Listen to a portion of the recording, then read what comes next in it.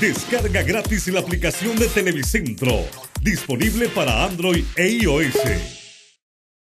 Pero dentro de todo esto se acerca al país desde el Perú un verdadero peligro con la secta La Iglesia del Final de los Tiempos, donde el dinero es el único puente para llegar a Dios. La mujer no tiene ningún valor y ya muchos hondureños perdieron su, pidieron su llegada al país. Aquí el reportaje. Juan Pablo Hernández dirigía una banda criminal y practicaba la brujería en el municipio de Ojojona. Pero en la capital se ponía el traje de oveja y pastoreaba la iglesia Dios es Amor en el barrio Villadela de Comayagüela. Allí, entre sus fieles seguidores, ya cargaba una orden de captura por el delito de asesinato. Él eh, se hacía pasar como un falso pastor de una iglesia evangélica ubicada en la zona de Villadela. Además, eh, se tiene información por parte de los ciudadanos del municipio de Jojona que él eh, se dedica a lo que es la hechicería y la brujería.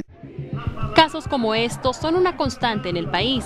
Personas o instituciones que se esconden detrás del altar de una iglesia, una Biblia y un supuesto sermón para obtener diferentes beneficios a cambio de falsas promesas de sanidades, salvación, perdón de pecados y hasta una vida eterna.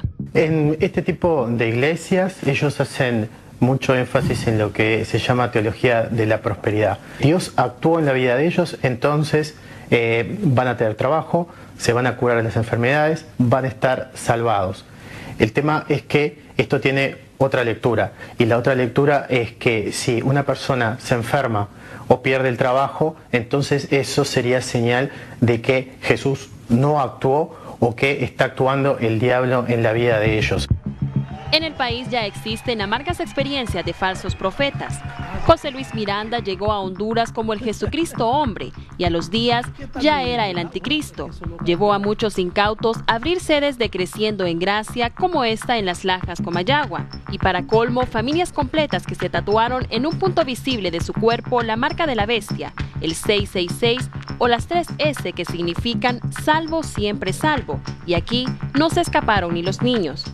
A veces las personas, ¿verdad? con esa ansia de, felicidad que hay en, cada uno, de buscar bienestar espiritual, incluso humano, material, creen cualquier cosa. Y como dicen estos profetas eh, falsos, eh, lobos disfrazados de ovejas, pastores falsos, como dice el profeta Ezequiel, pastores que lo que les interesa es su bienestar, y un interés particular. Ahora se acerca con mucho más peligro otra amenaza a la fe de quienes tienen la extrema necesidad de creer o confiar en algo o en alguien.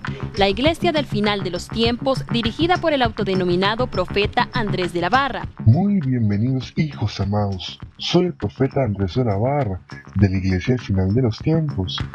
Un profeta que esconde su rostro y su voz y que desde el Perú ya se asoma al país. Con su página de Facebook para Centroamérica, opera con la prioridad de sacarle el diezmo del bolsillo a sus seguidores. Aquí algunos ejemplos. El diezmo se debe pagar antes del 5 de cada mes para evitar multas o recargos y solo se aceptan billetes en dólares. Una plática en línea con uno de los pastores tiene un valor de 100 dólares la hora y paga con la tarjeta de crédito que usted elija. Si usted no tiene tiempo para orar con 50 dólares, contrata el servicio del grupo de oración pagada, que lo hará por usted. En este caso, a las costillas, como le llaman a la mujer, las invitan a entrar al supuesto mundo de pulcritud que ellos gobiernan. A la mujer o a la costilla le exigen llegar virgen al matrimonio y llevar al pastor la sábana de la primera noche de bodas como prueba de su pureza. También debe ser sumisa frente al hombre por su condición de inferioridad no se le permite trabajar ni tampoco vestir a su gusto. Pero lo más preocupante no es que ellos quieran entrar al país, sino que ya están cerca, en El Salvador y Guatemala y con solicitudes puntuales de hondureños que los invitan a traer su iglesia a estas tierras. El que se digan algunos, se autodenominen pastores, creo que debería de haber una regulación dentro de la confraternidad o las asociaciones de, de pastores del país para poder filtrar y escudriñar quiénes son, quiénes somos los pastores. Pero no puedo hacer un comercio de la oración o del aceite o de cualquier elemento que se use dentro de la iglesia. No se puede. Dios no nos ha mandado a eso. Para muchos las falsas religiones son un negocio de fácil ingreso económico. La necesidad, curiosamente, de los más necesitados los lleva a buscar a Dios por vías rápidas hasta caer en las trampas y engaños de personas sin escrúpulos que se dedican a vender y comerciar con la fe. últimos tiempos. Bueno, sorprendido sin lugar a dudas, porque esta iglesia, y debemos de insistir en esto, eh, ya abrió una página de Facebook. Ya tiene una página para Centroamérica y hay muchas solicitudes de hondureños que le piden encarecidamente a esta secta religiosa que llegue al país. Y aún hay cosas que lo sorprenderían mucho más. Puede buscarlo usted en la red, precisamente los, las expresiones que tienen y la forma de pedir, pedir dinero. Aclaramos, no todas las iglesias son así no, bueno, esta es una secta prácticamente, pero hay cosas que sorprenden aún más, eh, Gabriela. Así es, Ulises, y como usted lo decía, no todas son así. Tenemos que tener mucha precaución y lo que más preocupa es que muchas personas están cayendo en las redes de estos estafadores de la fe. Vamos a tener algunos comentarios en el Facebook de esta eh, denominada iglesia.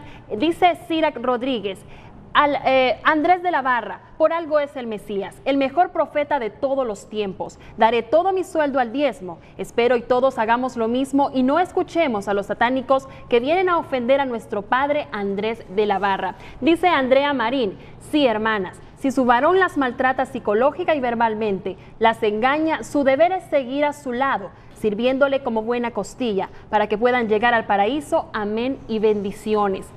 Dice Víctor de la Roa, Dios, me siento bendecido. Solo de ver la magnificencia de mi pastor Andrés de la Barra con sus enseñanzas nos iluminen el camino hacia el cielo, el más varón entre todos los varones, ungido por el poder de Dios. Alabado sea Andrés de la Barra. Y dice Gilbert Sif, Enseguida deposito. Gracias por el recordatorio. Bendice a mi familia, por favor. Y en todos estos comentarios, licenciado, podemos ver que ellos afirman con un amén y prometiendo que van a ser bendecidos. Así que usted que está en casa debe de tener mucha precaución.